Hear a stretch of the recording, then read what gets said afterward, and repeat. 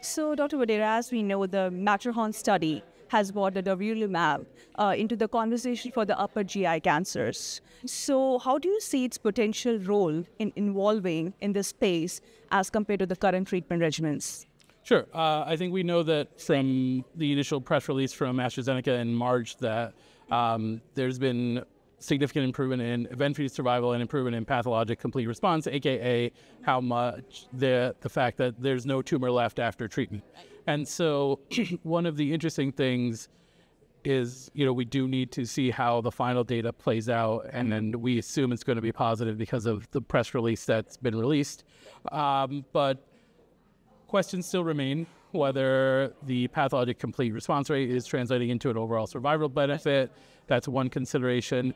And there is still somewhat of an elephant in the room that this was the Matterhorn trial was a cancer, was a trial of gastric and G junction or gastroesophageal junction cancers. Mm-hmm. So this does not necessarily directly apply to esophageal adenocarcinoma, where we know that FLOT is the standard of care.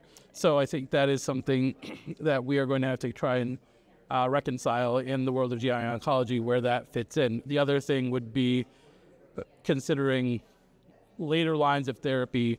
Mm-hmm. What do we do with people who hyper progress or progress relatively and recur pretty soon on this regimen? Mm-hmm. Do we continue to use chemotherapy and immunotherapy when they've already received the agents we would typically use mm-hmm. and immunotherapy in the past? So um, there's a lot of excitement as we should because gastric cancer is a very aggressive cancer and with a with a poor prognosis overall. But at the same time, we there are still questions we're going to have to reconcile with, and how do we incorporate and use the art of medicine to see how it really plays into um, our practice going forward. Right. Yeah. The last ASCO was ESOPEC trial. This time it's Matterhorn trial. So we are looking forward to that. Yeah, there's a lot of lot of good buzz, and uh, you know it's an exciting time to be a GI oncologist with the role of all the targeted therapies and a lot of interesting data coming out. So it's an exciting time to be in our field for sure.